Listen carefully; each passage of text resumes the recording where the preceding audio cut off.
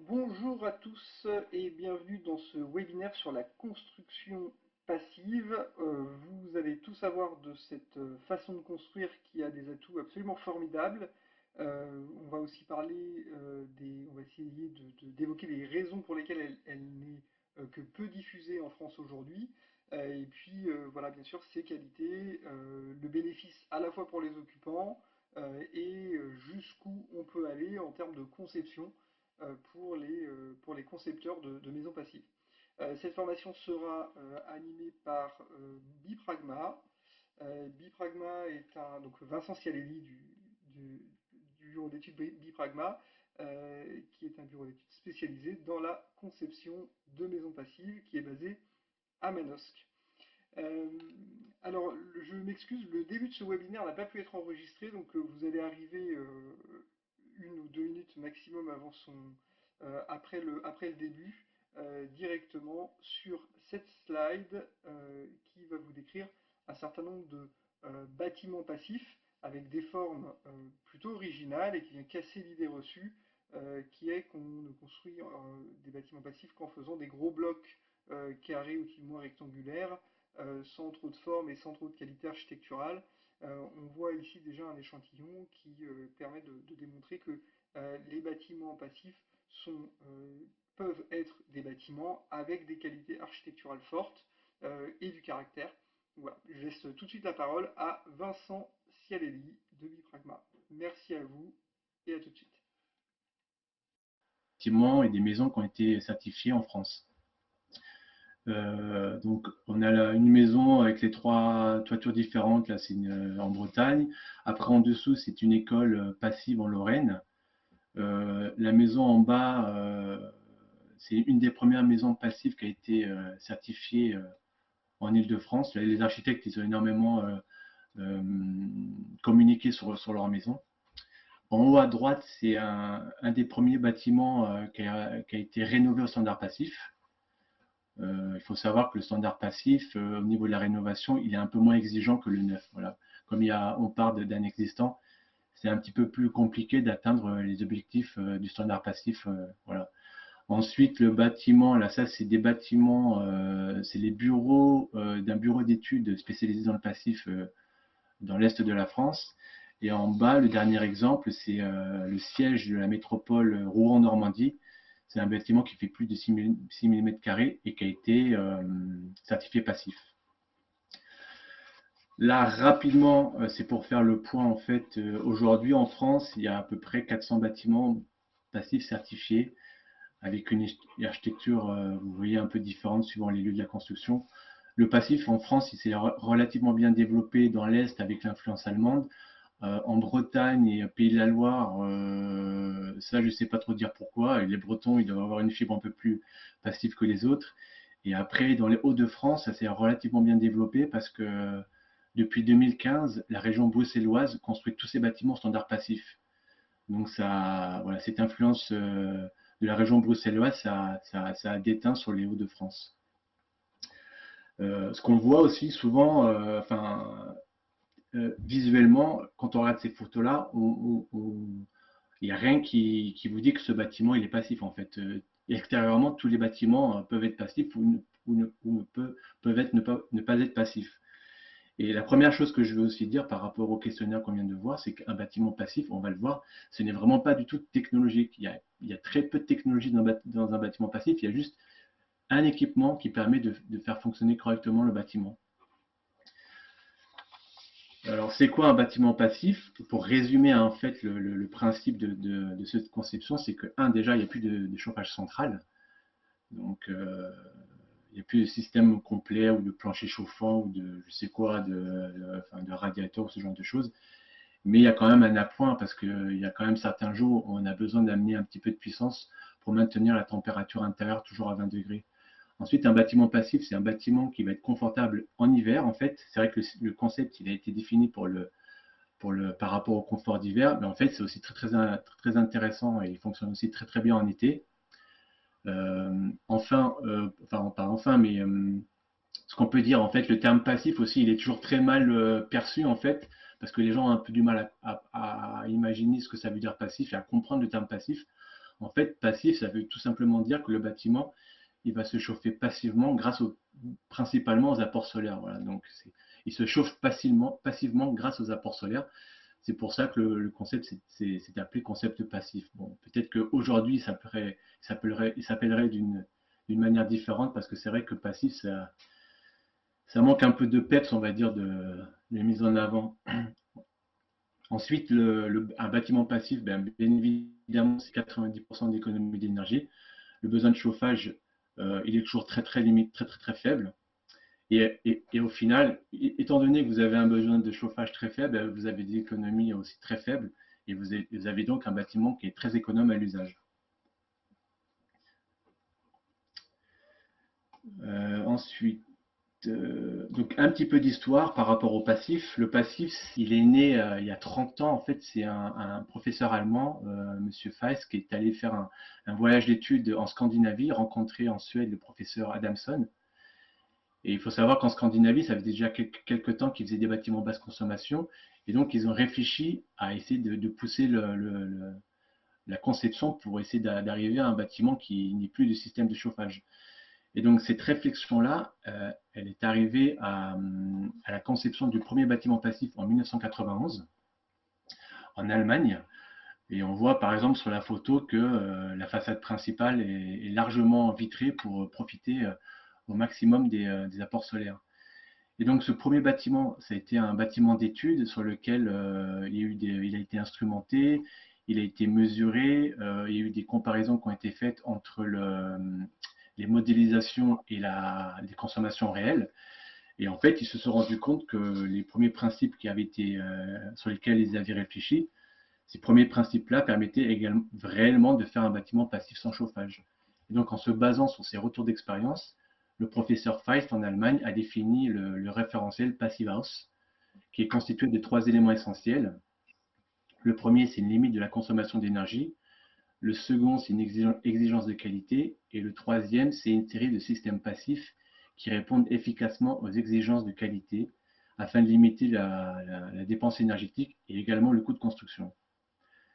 Et à la suite de ça est né le premier logiciel de conception passive en 1998. Donc euh, le premier bâtiment a 30 ans et le logiciel a 25 ans aujourd'hui ce, bâtiment continue à être, euh, à être instrumenté. Il y a des tests d'étanchéité à qui sont faits régulièrement et euh, depuis 30 ans, euh, ce bâtiment permet de démontrer que le concept fonctionne. Alors, quels sont les critères? Je pense qu'il y a quand même pas mal de gens aujourd'hui qui, les connaissent. Donc, le critère principal sur lequel s'est basé le concept passif, c'est un besoin de chauffage utile qui ne doit pas dépasser 15 kWh par mètre carré par an. Euh, et ça pour une température constante de 20 degrés. Donc le, besoin de chauffage est déterminé avec une température de 20 degrés. Dans la réglementation, on, part sur une température de 19 degrés. Donc par exemple, si vous avez une maison qui fait 100 mètres carrés, avec une consommation de 1500 kWh par an, ça vous fait une facture. Si on, part sur un chauffage tout électrique, hein, donc à 0,16 euros du kilowattheure, ça vous ferait une facture à 240 euros par an de chauffage. Euh, ensuite, la puissance de chauffe qui, elle, ne doit pas dépasser les 10 watts par mètre carré. Après, un critère très très important, c'est l'étanchéité à l'air, qui est mesuré sous 50 pascal. Et euh, la valeur à, ne pas dépasser, c'est 0,60 euh, volume par heure. Après, le passif met aussi en avant le, besoin, la consommation en énergie primaire. Et cette consommation d'énergie primaire, elle est calculée sur tous les postes. Donc il y a le chauffage, l'eau chaude, la ventilation, mais il y a également tout ce qui est électrodomestique. Et en fait, on se rend compte aujourd'hui, avec tous les systèmes qu'il y a dans la, maison, que cette partie d'électrodomestique euh, commence à représenter une, une, une, consommation relativement importante. On, peut estimer ça, suivant les maisons, suivant le, nombre de personnes qui habitent dans les maisons, entre 1500 et 2000 kW euh, par an. Quoi. Donc ça commence à représenter une certaine consommation. Après, le passif a aussi défini un critère par rapport au confort d'été, qui est que la température intérieure ne doit pas dépasser 25 degrés pendant 10% du temps, maximum 10% du temps. En règle générale, quand on conçoit des bâtiments passifs, on n'est jamais à 10% du temps, on est plutôt entre 0, 1 ou 2%. Voilà. Euh, ensuite, on va passer à une définition qui est relativement simple du passif. Sachant que le passif, c'est quand même un concept qui est lié à la sobriété énergétique. Donc en fait, les deux principes simples à avoir, c'est imaginer quand vous êtes dehors, en fait, quand vous sortez, pour pas avoir froid, qu'est-ce que vous faites? C'est que vous mettez un manteau bien épais, bien chaud. Donc ça, ça va être votre enveloppe performante. Après, ce manteau, suivant les, endroits où vous habitez, euh, au nord, au sud, euh, s'il y a des endroits plus ou moins ensoleillés, l'épaisseur de son manteau euh, va être plus ou moins importante. Et après, pour éviter à ce que vous ayez un inconfort lié aux infiltrations d'air, il faut que cette enveloppe-là, soit étanche. Donc en fait, le passif, c'est vraiment deux choses qu'il faut associer, qui marchent vraiment bien ensemble. C'est un manteau bien chaud avec euh, ce couvent qui va vous éviter d'avoir des infiltrations d'air parasites. on a tous euh, en, mémoire le fait d'être à côté d'une fenêtre avec des. Même si votre thermomètre il dit qu'il fait 23, en fait, vous avez toujours une, sensation d'inconfort parce qu'en fait, vous avez des problèmes d'infiltration au niveau des menuiseries. Est-ce que, est que d'après toi, le, renforcement de la réglementation sur l'étanchéité à l'air euh, dans, les, dans les bâtiments aujourd'hui, avec notamment la RE2020 qui vient encore renforcer la RT 2012. Euh, est-ce que c'est lié à euh, l'expérience tirée du passif? Est-ce que c'est en lien ou est-ce que c'est convergent? Ça n'a rien à voir. Est-ce que l'un a regardé l'autre? Alors moi j'aurais bien aimé que la réglementation regarde le passif, mais en fait on en est encore loin. Aujourd'hui, avec la nouvelle réglementation au niveau de l'étanchéité à l'air, on est quand même resté sur l'ancienne valeur de la RT 2012. Donc au niveau de la nouvelle réglementation, il n'y a, pas eu d'amélioration concernant l'étanchéité à l'air. Une, enveloppe, euh, une enveloppe passive étanche, elle est 4 à 5 fois moins, est 4 à, 4 à 5 fois plus étanche qu'une enveloppe réglementaire. Voilà. Si, dans la réglementation, on a une valeur à 0,6, en passif, on aura une valeur à 0,15 ou 0,16. On est, on est 5 fois meilleur. Mais de toute façon, euh, il faut éviter qu'il y ait des déperditions via les infiltrations d'air. Donc il faut avoir une enveloppe étanche. Ça, participe à la performance globale de l'enveloppe.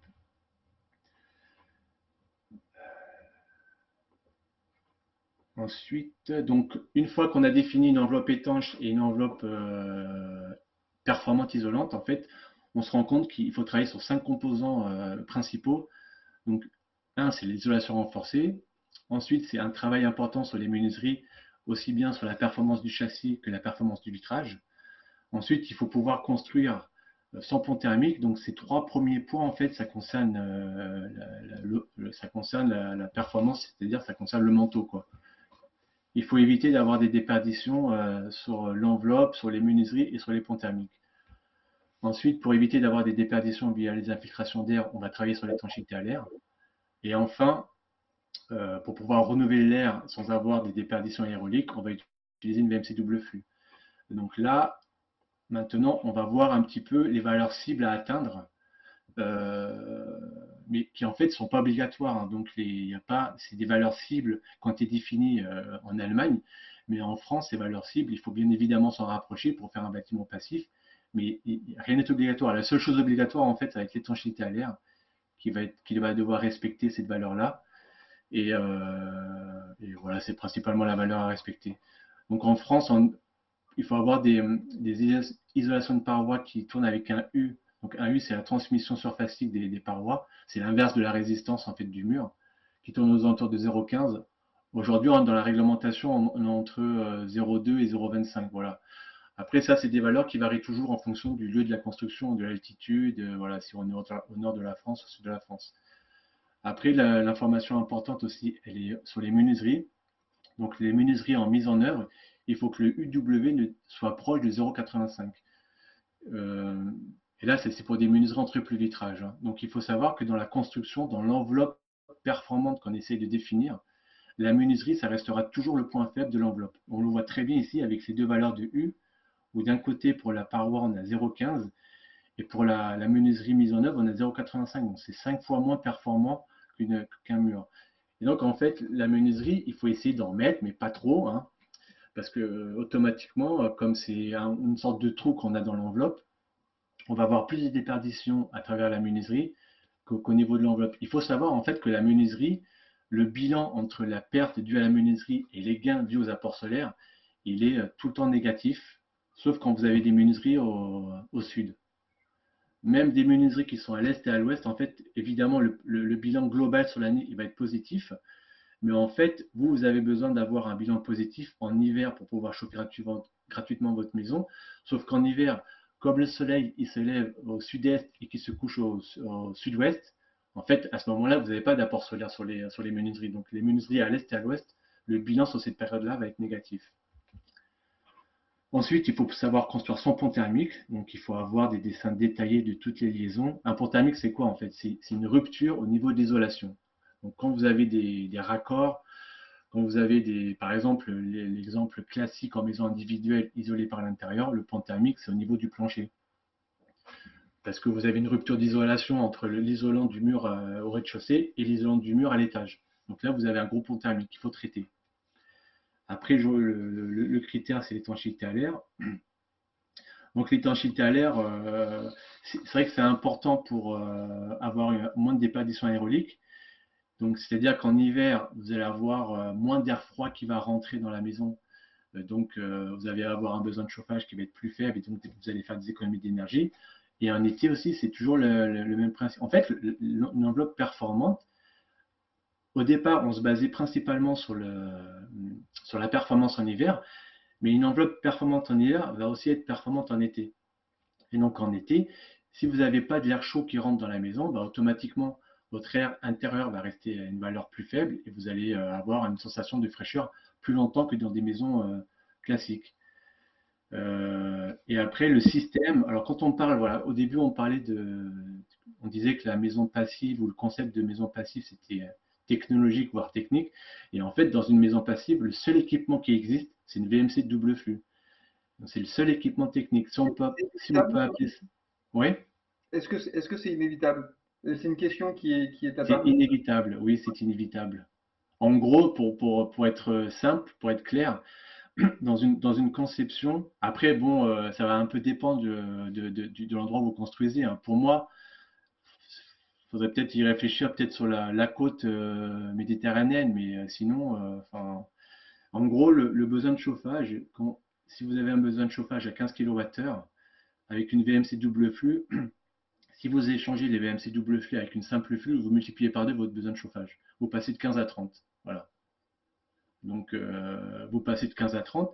Et après, euh, moi, je pense que, ça, ça c'est au niveau du, calcul, vous doublez votre besoin de chauffage, mais vous amenez aussi une sensation d'inconfort euh, qui est difficile à, expliquer avec des chiffres. En fait, la sensation d'inconfort, c'est pourquoi aujourd'hui, dans la plupart des maisons qui sont installées avec des VMC double flux, les gens, en fait, ils mettent un, scotch sur les, entrées d'air parce que, en fait, ça les, ça les embête plus qu'autre chose parce qu'ils ont de l'air froid qui, qui rentrent dans, le bâtiment. Donc, euh, ça leur provoque une source d'inconfort.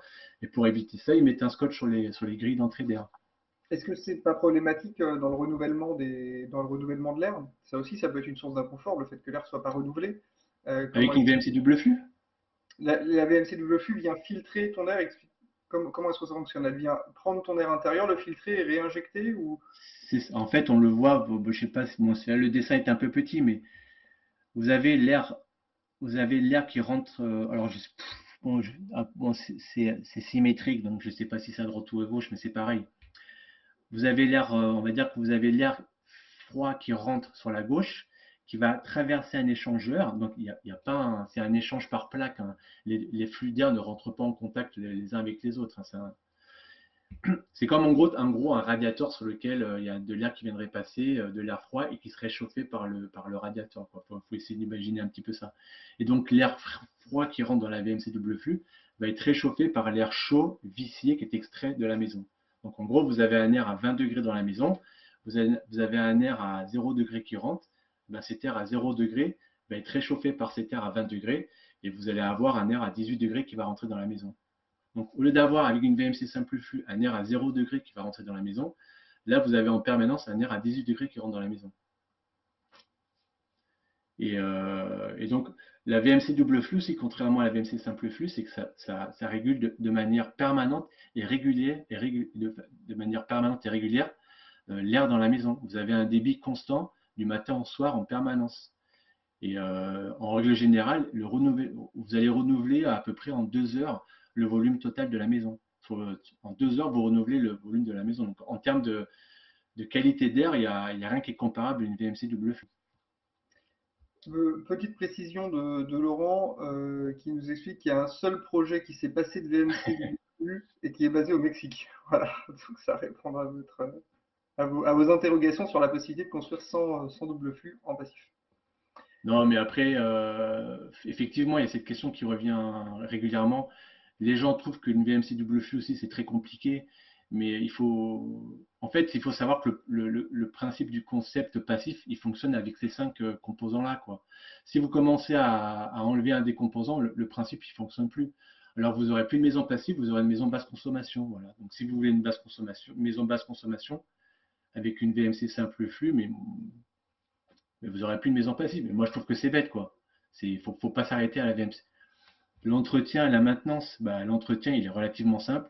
Il faut changer les, euh, euh, les, filtres. Euh, ça va dépendre des endroits où vous habitez. Si les filtres sont plus ou moins encrassés, mais c'est en tous les 6-8 mois, quoi, ou, chaque année, ça dépend. Après, vous pouvez aussi le filtre, le pré-filtre qui rentre dans la VMC, vous pouvez le sortir, le nettoyer un petit peu et le remettre. Mais voilà, c'est ça le seul entretien. Hein. Il n'y a pas plus d'entretien. On va peut-être accélérer, non? On a un peu vu sur l'horaire, ouais.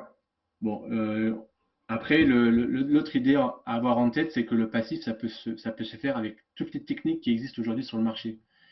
Le, le, concept, il préconise aucun système constructif, il ne préconise aucun isolant. Donc, vous pouvez faire ce que vous voulez, en fait. La seule chose qu'il faut respecter, c'est les cinq composants dont on vient de parler, c'est tout. Donc, euh, bloc de coffrage isolant, isolation par l'extérieur, bois, tous les isolants qui existent sur le marché, vous faites ce que vous voulez. Aucune euh, préconisation particulière de ce côté-là. Euh, la question aussi qui peut revenir souvent, c'est quelle est la bonne épaisseur d'isolation pour atteindre les 15 kWh par mètre carré. Bon, ça, c'est. En fait, ça va dépendre de tout un tas de paramètres, hein, du lieu de la construction, de la compacité, est-ce qu'il y a plus ou moins d'apports solaires euh, Quelle est la ventilation qui va, qui va être mise Quel est le rendement de la ventilation Voilà, tout ça, c'est un bilan qu'on doit faire entre les pertes d'un côté euh, et les gains, les gains qui vont être principalement les apports solaires. C'est ce qu'on voit en fait, par exemple, sur ce dessin-là, les gains en jaune là à droite. Ça, c'est des, gains d'apport solaire. Donc, vous voyez que par rapport aux pertes qu'il y a sur le, qu'il y a sur l'enveloppe, eh ben, vous avez 75 ou je sais pas 60%, c'est euh, c'est compensé par les apports solaires. Donc, pour bien avoir en tête, en fait, pour que le passif fonctionne vraiment très très bien, il faut maximiser les apports solaires. Parce que c'est votre, votre chauffage, en fait. C'est votre chauffage 90% du temps. Donc, il faut pouvoir avoir ce, ce chauffage 90% du temps. Et il faut donc euh, avoir des apports solaires relativement conséquents pour avoir euh, une facture énergétique nulle. Voilà. Par rapport à la puissance de chauffe, euh, je disais que c'était 10 watts par mètre carré. Donc pour avoir euh, quelques idées sur, euh, quelques exemples sur qu'est-ce que ça signifie 10 watts par mètre carré.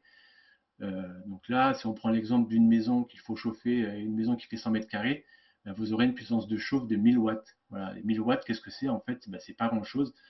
C'est un radiateur électrique. voilà, vous pouvez faire une journée de repassage et vous pourrez chauffer dans le même en même temps la maison. Vous pouvez faire une journée de d'aspirateur et puis vous chaufferez en même temps la maison. Quoi. Au moins, vous, faites des choses. Comment? Ou une journée de grille-pain. Ou une journée de grille-pain. Au lieu de faire une journée barbecue, vous faites une journée grille-pain. Euh, les, la consommation de 10 watts par mètre carré, ça correspond à, quoi? C'est quoi la, puissance hein, C'est la puissance. C'est la... la... puissance à installer. D'accord. Donc la puissance, en fait, elle est calculée euh, avec des conditions particulières et on détermine la puissance, là, c'est un pire cas qu'il faut calculer euh, euh, pour pouvoir chauffer à 20 degrés la maison dans, des, dans les pires conditions. Le pire des cas, pour maintenir, c'est la, sécurité. La sécurité, ouais. Inconfortable, ok. Je peux y revenir, mais par exemple, le, dimensionnement de la puissance de chauffe dans le concept passif et dans la réglementation ne se fait pas de, de la même façon. Voilà. Mais bon, euh, le calcul ne se, fait pas sur la même base. Mais bon, là, c'est pour vous montrer qu'en fait, avec 10 watts, moi, moi à titre d'exemple, dans la maison, donc j'habite une maison passive qui fait 125 mètres carrés, ma puissance de chauffe, c'est 700 watts. Donc 700 watts, je sais pas, ça fait 6 watts par mètre carré, quoi. C'est ridicule. Hein. Là, actuellement, en fait, on a des conditions un peu particulières parce qu'il fait quand même froid très tôt le soir et puis Moi, ici à Manos, que tous les matins, il fait moins 4, moins 5. Et la maison, elle fonctionne sans chauffage. Je n'ai jamais de chauffage. Est-ce que tu peux nous euh... la, photo de ton... que tu avais mis sur LinkedIn? Ouais, en fait, attends, je vais faire un partage d'écran parce que, bon, remarque, bon, c'est pas très grave, je vais vous le dire de, de vive voix, mais ça, par exemple, c'était une photo que j'avais prise. Donc ça, c'est la réalité, en fait. C'est vrai que même quand on habite une maison passive, on est toujours euh, stupéfait de, de, la, de, la, de la réussite du concept habitant. On est toujours épaté de, voir que ça fonctionne. C'est vraiment incroyable. Et donc, grâce à la performance de l'enveloppe, grâce à la VMC, eh ben, un matin, par exemple, euh, il faisait moins 6,3 et moi j'avais 20 degrés dans la maison, sans chauffage. Sans chauffage. Donc vous imaginez bien euh, que quand on n'a pas des températures comme ça, euh, si extrêmes, ben, ça fonctionne d'autant mieux. Et ce que je disais, c'est qu'actuellement, on, a des températures froides tous les matins, moins 4, moins 5, mais comme les journées sont très ensoleillées, la maison capte les apports solaires durant la journée. Comme l'enveloppe est très performante, eh ben, la température de la maison euh, va baisser euh, très faiblement. Et le matin, même, si les nuits sont très froides, ben, j'ai encore 20 degrés dans la maison. Et on recommence comme ça tous les jours. Quoi. Donc 90% du temps, votre maison fonctionne sans chauffage. Quand vous arrivez de l'extérieur, vous rentrez dans la maison, vous avez cette sensation de chaleur. Et les gens, quand ils viennent visiter, ils me demandent mais où est le chauffage? Et je leur dis mais il n'y a pas de chauffage. Il n'y a pas de chauffage.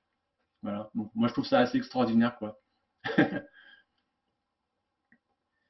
Alors, euh, au niveau du prix, moi je considère que le, principe du concept passif, il se joue uniquement sur les 50% du gros œuvre, le hors d'order. Les 50 autres de second œuvre, ça, ça ne concerne pas le passif. Moi, je dis que le passif, en fait, le surcoût, il est uniquement lié euh, au passage du double et du triple vitrage, parce que l'isolation, en fait, même si dans une maison passive, vous isolez plus, l'isolant, en fait, ça ne coûte rien dans une construction c'est pas ça qui va, qui va augmenter le, qui va gréver votre budget de construction. C'est vrai, l'isolant, en fait, ça coûte rien. Ensuite, les économies, les économies que vous allez faire sur une, installation de chauffage et la VMC double flux, ben, cette économie-là, vous la réinjectez dans une ventilation double flux. Et donc, ce que je disais, c'est que le vrai surcoût, en gros, c'est faut multiplier par deux le, coût des vitrages. Hein. Bon.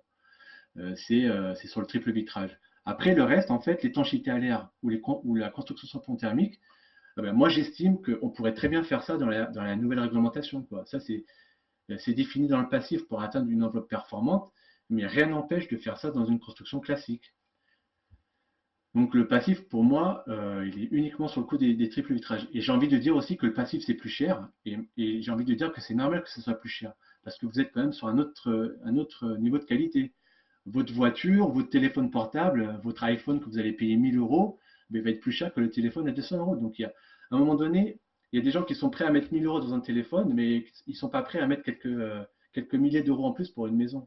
Donc, euh, moi, c'est quelque chose que je n'arrive toujours pas à comprendre. Quoi. Par rapport que, que, en pourcentage, est-ce que non, mais c'est entre 15 et 20% maximum, mais c'est toujours difficile, voilà. Mais c'est toujours difficile de, de, dire des prix comme ça, mais euh, voilà. C'est et, après, euh, alors voilà, après j'ai un, slide aussi sur les, ceux qui voient ça comme un investissement. Donc c'est ce qu'on appelle la valeur verte. il y a une étude qui a été faite par des architectes, euh, pas par des architectes, par des notaires, pardon, en 2019, euh, sur des maisons qui étaient, classées avec l'étiquette A ou B et des appartements, en fait, on voit, d'après cette étude, que les appartements en A ou B se revendent 6 à 9% plus cher et les maisons se revendent entre 9 et 12% plus cher. Donc peut-être que les gens ne sont pas trop concernés par le concept passif et qu'ils sont peut-être plus concernés par le fait d'investir dans quelque chose qui a de l'avenir. Et que derrière, déjà, vous allez faire des économies d'énergie euh, durant votre vie dans le bâtiment, vous allez avoir un confort euh, très important, et puis derrière, à la revente, eh ben, vous ferez une, petite plus-value par rapport à toutes les maisons euh, qui seront autour de, chez vous. ce que j'aime bien mettre... Ouais. J'allais dire, là, vous avez des arguments pour, pour aller chercher du, du, passif et, euh, ouais, et vendre des, des maisons ou des, ou des, constructions passives. Ouais. Après, il y a un calcul financier hein, qui, permet de démontrer aussi la, pertinence du passif. Bon, là, on n'a pas assez de temps, mais moi, ce que j'aime bien mettre aussi en avant, c'est qu'il euh, y a certains bailleurs sociaux qui ont décidé de construire son art passif pour deux principales raisons. En fait, c'est réduire les impayés augmenter la solvabilité des locataires. Donc là, on, lit un de leurs un, commentaire. En fait, les logements sociaux passifs aident à la solvabilité des ménages.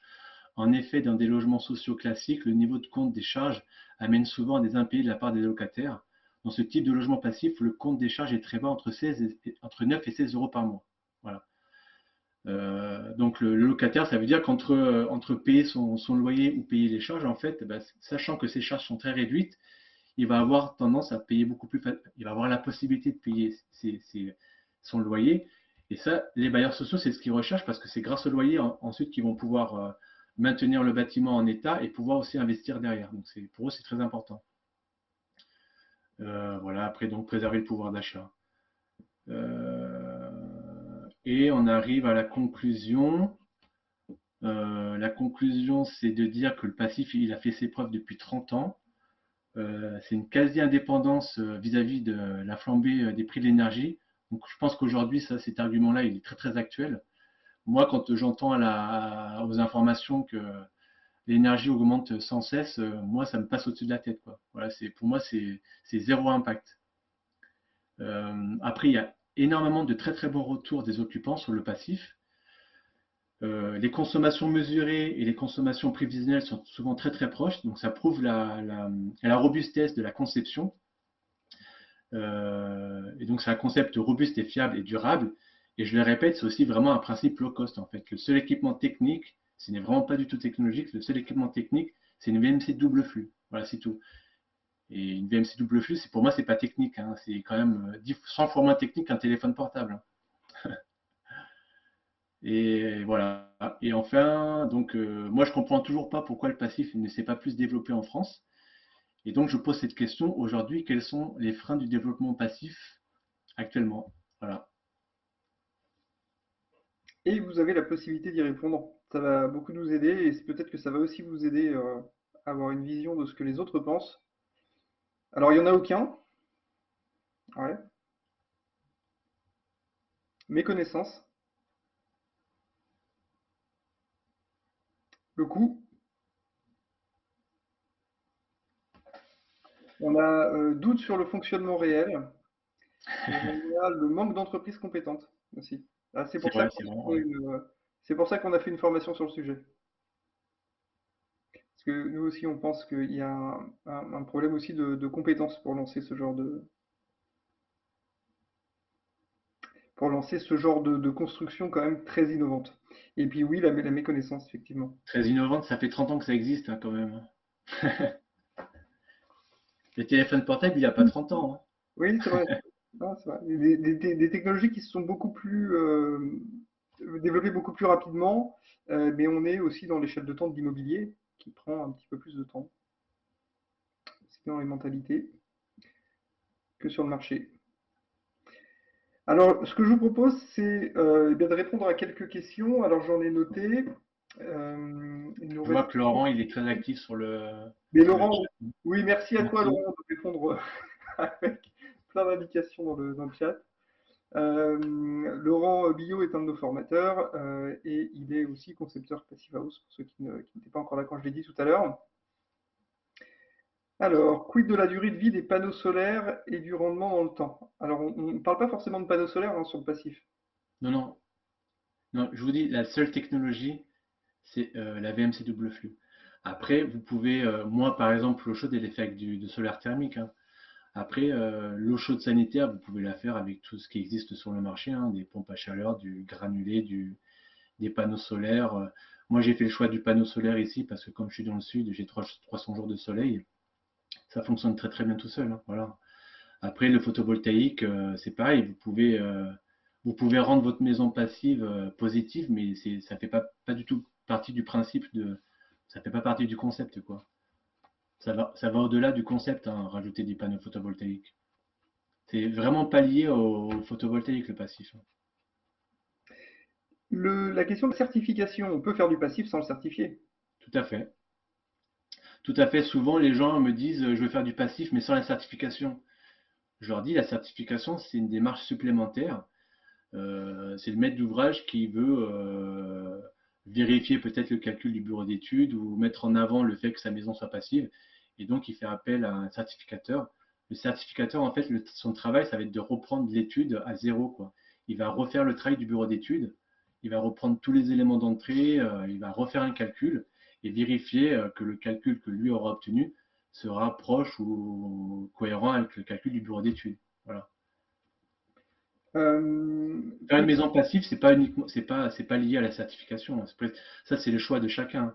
Après, ce qui peut se passer, c'est qu'il y a des architectes qui, qui, souhaitent faire certifier, parce que comme ça, ça leur donne une, on va dire, ça leur permet d'avoir une carte de visite sur le passif, et ça leur permet de, démontrer qu'ils sont capables d'en faire.